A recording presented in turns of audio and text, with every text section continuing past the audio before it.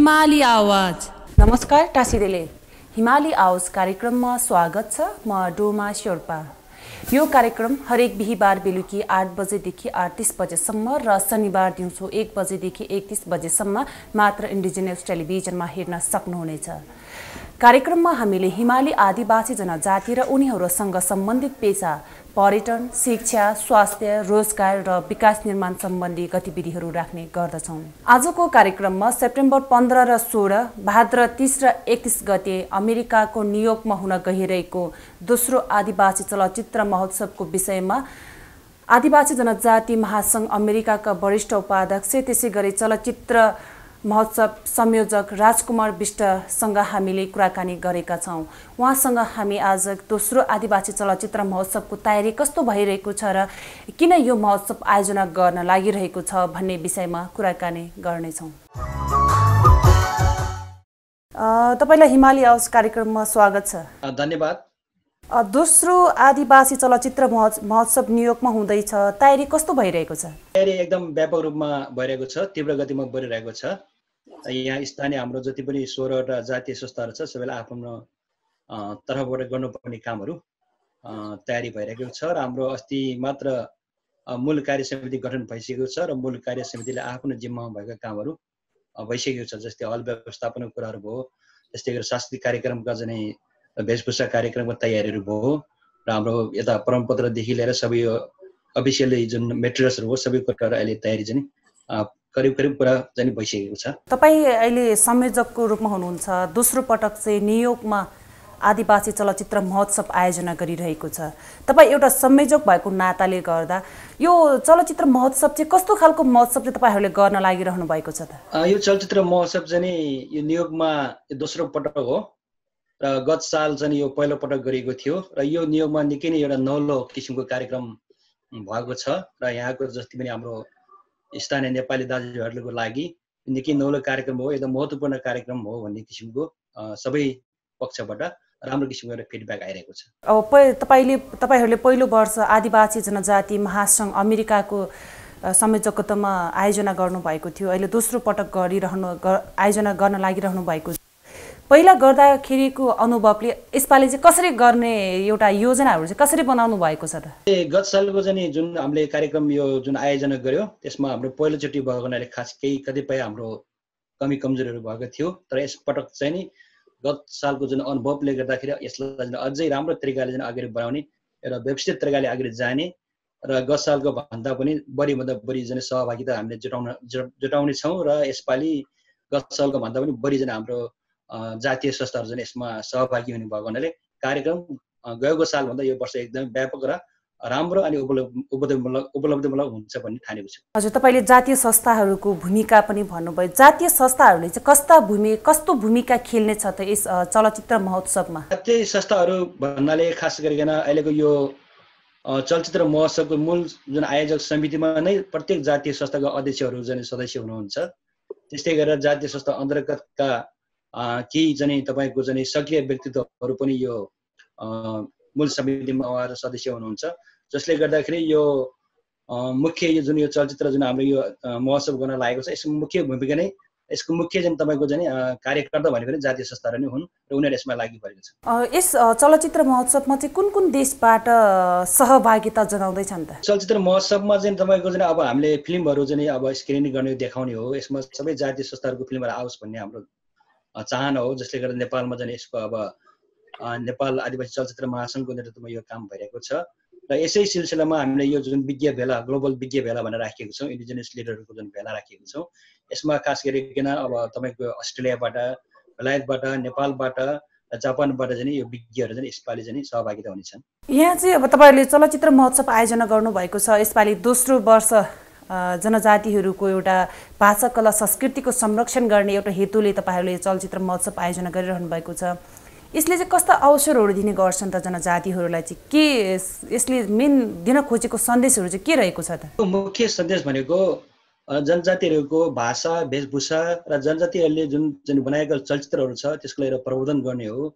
र जातीय पहिचानहरूलाई चाहिँ यहाँको चाहिँ संस्थामा या नेपाली ड्यासपरामा चाहिँ एउटा है जनजातिहरू पनि यस्तो छन् है। जनजातिहरूको एउटा चाहिँ मेहनत यस्तो किसिमको छ पहिचान यस्तो किसिमको छ संस्कृति यस्तो किसिमको छ भन्ने कुरो फिल्म मार्फत चाहिँ सन्देश दिने हो।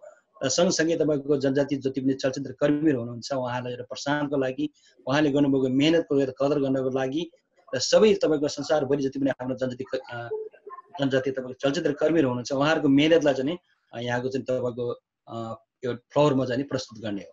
हजुर विदेशी भूमिमा एउटा जनजातिहरूको हकितको लागि जनजाति महासङ्घ अमेरिकाको स्थापना भएको छ तपाईँ वरिष्ठ उपाध्यक्ष पनि हुनुहुन्छ होइन?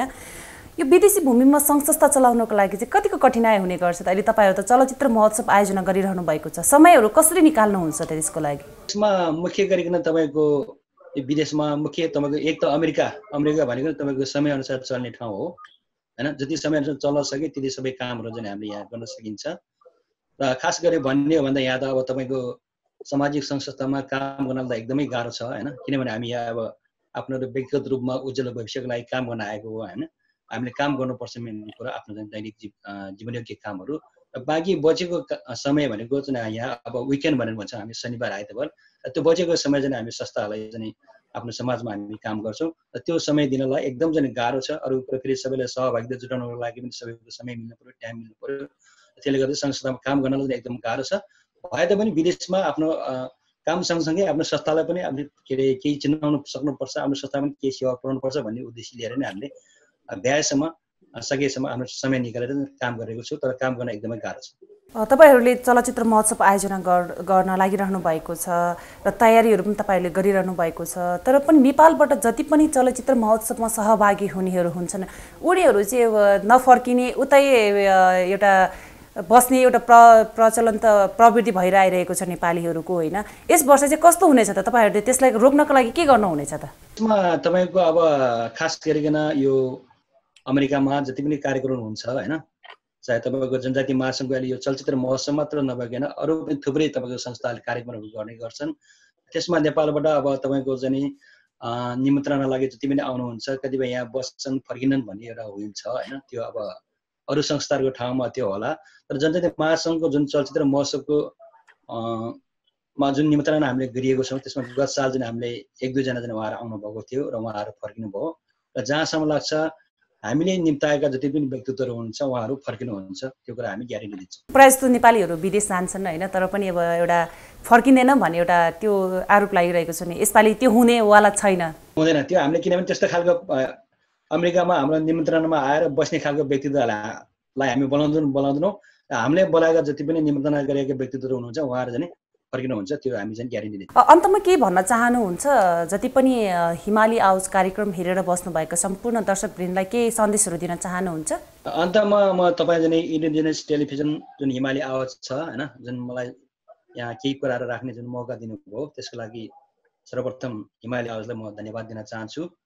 नेपाल आदिवासी जनजाति महासङ्घ अमेरिकाको तर्फबाट र म मुस्ताङ किदो युएसएको एउटा अध्यक्षको हैसियत पनि यहाँहरूलाई धेरै धेरै धन्यवाद दिन चाहन्छु र खास गरिकन यो विदेशी भूमिमा विदेशी मुलुकमा हामीले हाम्रो भाषा पहिचान संस्कृतिलाई चाहिँ बचाउन सक्नुपर्छ र त्यसलाई हामीले चिनारी गराउनु गराउन सक्नुपर्छ भन्ने मेन उद्देश्य नै त्यही नै हो र जनजातिहरूको हक र अधिकारको लागि हामी सधैँ लडि नै र सँगसँगै हामीले हाम्रो पहिचानलाई चाहिँ जहिले पनि हामीले चाहिँ आफ्नो चाहिँ प्रस्तुत गर्न सक्नुपर्छ भन्ने म संसारभरि छरेर रहनुभएका जनजाति दाजुभाइ दिदीबहिनीलाई हार्दिक अनुरोध गर्दछु। धन्यवाद। तपाईँलाई धेरै धेरै धन्यवाद। तपाईँको एउटा विदेशी भूमिमा रहेर पनि तपाईँले हाम्रो हिमाली आउज कार्यक्रमलाई समय दिनुभएकोमा र तपाईँहरूको कार्यक्रम सफल रहोस् भन्ने हामी शुभकामना दिन चाहन्छौँ। धन्यवाद यहाँलाई पनि। आजको कार्यक्रममा हामीले आदिवासी जनजाति महासङ्घ अमेरिकाका वरिष्ठ उपाध्यक्ष त्यसै गरी आदिवासी चलचित्र महोत्सवका संयोजक राजकुमार विष्टसँग कुराकानी गऱ्यौँ। तपाईँलाई उहाँसँगको कुराकानी कस्तो लाग्यो? हामीलाई सल्लाह सुझाव एवं प्रतिक्रिया पठाउन सक्नुहुनेछ जसको लागि हाम्रो ठेगाना रहेको छ। कार्यक्रम हिमाली आवाज पोस्ट बक्स नम्बर एक तिन चार छ एक काठमाडौँ नेपाल। त्यसै गरी तपाईँसँग इमेल सुविधा छ भने हामीलाई इमेल मार्फत पनि सल्लाह सुझाव एवं प्रतिक्रिया पठाउन सक्नुहुनेछ जसको लागि हाम्रो इमेल ठेगाना रहेको छ।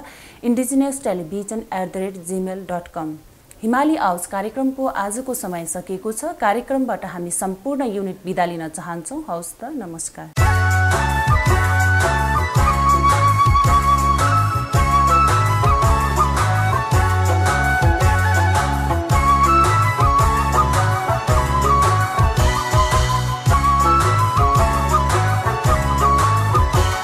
हिमाली आवाज।